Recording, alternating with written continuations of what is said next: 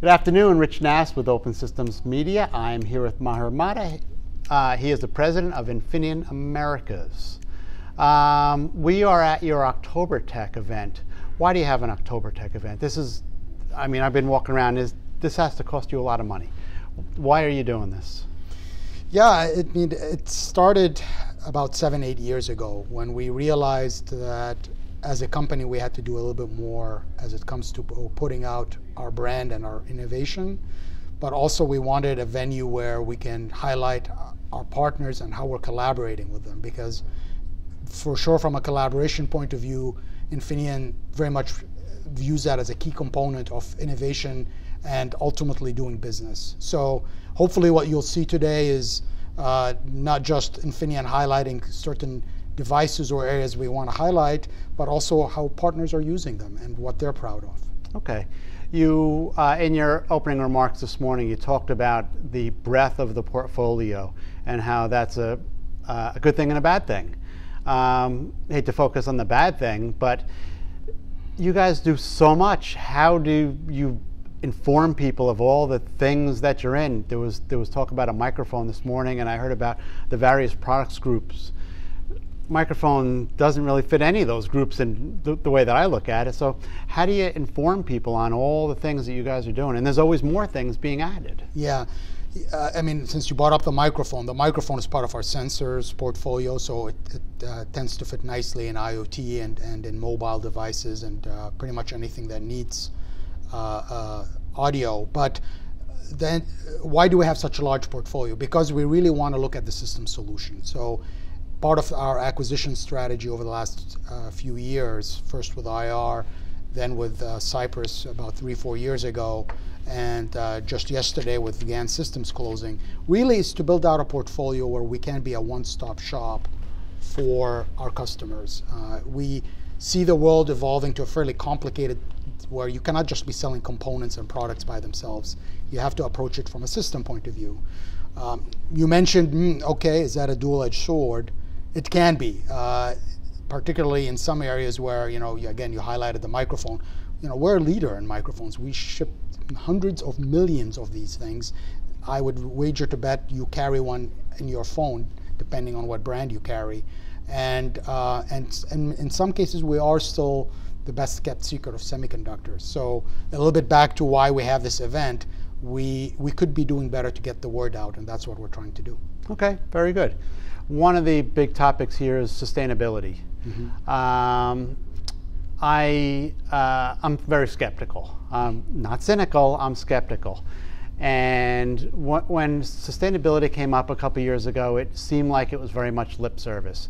Um, buy our products because we're doing our best to reduce our carbon footprint, and um, there didn't seem to be any more than that what I've been learning, I learned a lot today, um, how that can actually be very profitable. And I don't want to go back to being cynical and say that's the reason why you're doing it because I know that you guys want to be a good citizen. But is isn't it true that there's actually a lot of money to be made by being a sustainable company? Be, you know, decarbonization and digitization, which is the banner we put this uh, topic, is very much uh, a good business thing as well. Absolutely. Um, on one side, you know, those of us who have children or grandchildren, you do sometimes reflect and say, okay, can the world really sustain 70% of the cars going to EV, or can it really sustain multiple AI models with, you know, the next chat XYZ number, taking, you know, huge amounts of power to train? You can't stop that train. So part of it is, you know what, what can, how can we make a difference? So when you go home and you look at your children, how do you feel? But to your point, it's more than that. There, it is also good business because uh, it's good business for the people who are optimizing their data centers, if you want to take that example, because their cost of ownership to run that data center is lower. So uh, if I can help the environment and reduce my operating costs because I don't need uh, air conditioning or I use less energy, then why not? For us, we have the saying that without digitization, you can't have decarbonization. And guess what? Yes, digitization requires chips. You need more ICs to be able to do this.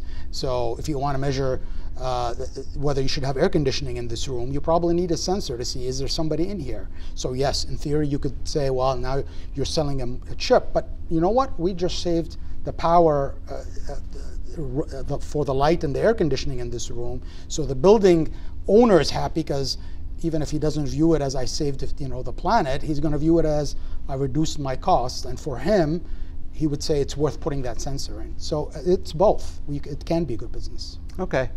Uh, here's a curveball because I love throwing you curveballs, and I know they like to prep you before I get here, and I ask you questions that you're not prepped for. Um, I heard about uh, smartifying manufacturing. What the heck is that?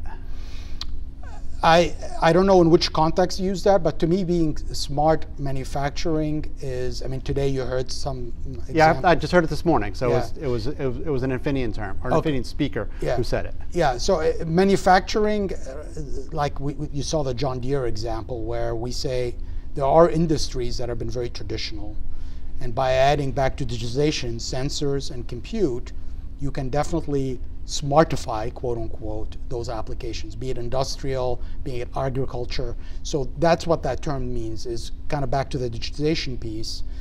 We can be more efficient with people's times about how they do it by adding certain sensors, automating certain loads, using AI again in certain applications. So I think that's where that context came from. Okay, so we talked about what the themes are here at this event. What's the theme for next year?